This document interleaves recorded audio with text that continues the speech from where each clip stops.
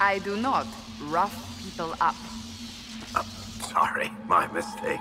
You'd have your men. You will never let that go, will you? Probably not.